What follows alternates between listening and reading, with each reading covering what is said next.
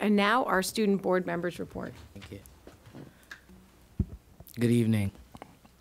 I first want to say how much Roger was a great mentor and a leader, and how he always fought to put students first while having a smile on his face, and he will truly be missed.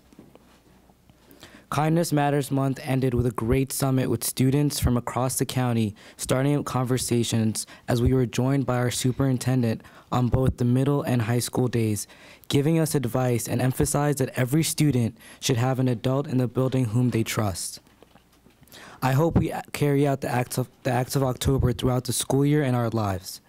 November's theme is deleting negativity. Words matter. So be sure to show us what your schools are doing to support this month's theme. Since October 8th, I have been doing school visits, talking to students individually, listening to their concerns, and hearing what they want to see from BCPS. So far, I have reached Sparrows Point Middle and High, Lansdowne High School, Franklin High School, Ridgely Middle School, Patapsco High School, and Parkville Middle and High.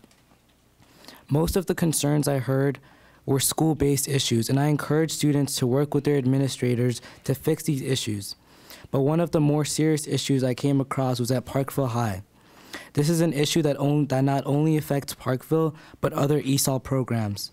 Students who are enrolled in ESOL travel to this program and, not, and are not housed at their home schools.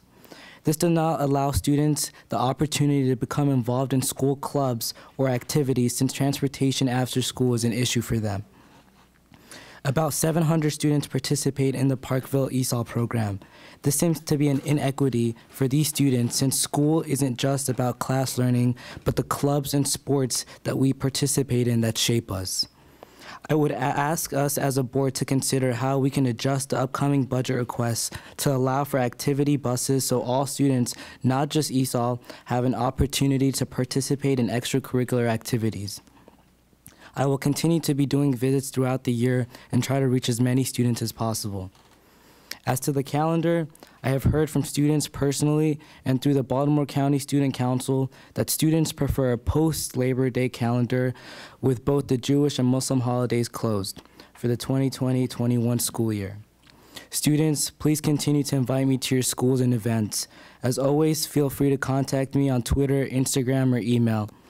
Let's finish the quarter off strong and strive to keep up the drive and energy throughout the winter and the second quarter. Thank you.